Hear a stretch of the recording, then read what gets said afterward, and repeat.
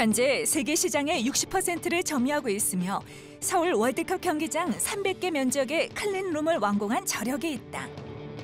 또한 지난해 매출액이 4,300억 원으로 세계 1위의 위엄을 보여주었다.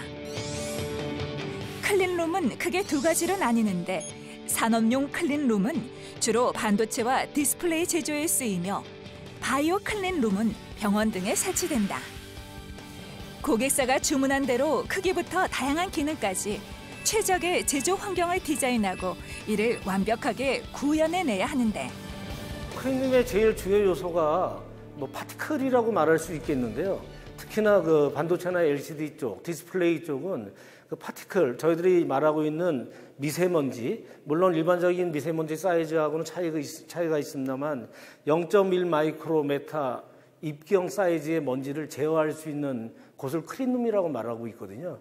그 먼지가 그 particle이 적어야지만이 많은 양이 발생되지 말아야지만이 제품에 생산하는 제품의 불량률이 떨어지게 되고요. 생산성이 올라가게 되는 겁니다. 미립자 가시화 기술은 particle이 레이저를 통과하며 빛을 반사할 때 이를 고감도 카메라로 촬영하여 작업자가 쉽게 발견하고 대처할 수 있도록 만든 것이다. 이보다 한 차원 더 높은 기술인 휴대용 장비 또한 개발과 양산에 모두 성공한 상태다. 여기 좀 조금 좀 빛나는 것들이 있죠. 이러한 것들이 그 0.3 마이크로, 0.5 마이크로 눈에 보이지 않는 그런 먼지 사이즈가 되겠습니다. 여기 점같이 보이는 것들, 요거를 real time으로 하는 건데 클린룸 안에서 눈으로 보이지 않는 먼지가 불량률을 냈을 때 이 먼지가 particle이 어디서 발생이 되는지, 어디로 흘러가는지 그런 거를 측정하기 위한 측정기가 되겠습니다. 이 아래 것에 대해서는 저희들이 자체적으로 개발을 했는데요. handling type.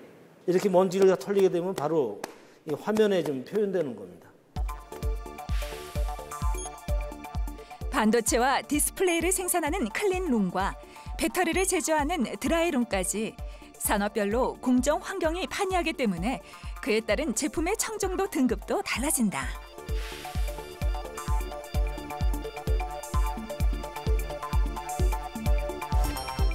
클린룸 제조에는 파티클 제어와 함께 온도와 습도를 최적의 조건으로 유지하는 것도 반드시 필요하다.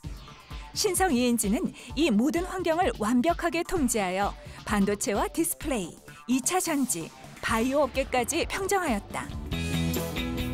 최근 몇 년 사이 미세먼지와 황사 등 공기의 질에 대한 이슈가 끊이지 않으면서 일상생활에서도 대기 청정도에 대한 관심이 매우 높은데 신성 ENG는 산업용 공기청정 기술을 기반으로 생활 속 클린 환경 부문에도 두각을 나타내고 있다. 오염물질의 농도가 높을 때 청정한 대기 상태로 되돌려주며 부가 기능도 뛰어난 신개념 공기청정기를 생산 중이다. 요거는 가정용 공기청정기입니다. 방 면적으로는 세평 정도 되는 곳에 사용하려고 요 원형을 좀 만들었고요. 근데 저희들이 일반적으로 아시는 공기청정기는 바닥에 놓는 것이 일반적인 거거든요. 근데 저희들은 그 크리눔에 사용했던 그런 기술을 가지고 공기청정기를 천정에다 붙인 내용입니다. 요 위에 있는 게 주된 제품이 되겠고요. 요거를 왜 천정에다 붙였냐면은 공기의 확산이라든지 그다음에 그 바닥에 대한 dead space를 줄이기 위해서 저희들은 천정으로 올리게 됐고요. 거기다가 플러스 LED 램프를 같이 접목하게 된 겁니다. 공기 청정기와 함께 LED 전등으로 사용할 수 있으며 조명의 밝기 또한 조절할 수 있다. 이는 신성이엔지만의 공기청정 기술에 소비자의 욕구를 접목한 사례인데 KS 인증을 받았음은 물론 단기간에 5천 대 이상 판매고를 올린 인기 제품이다.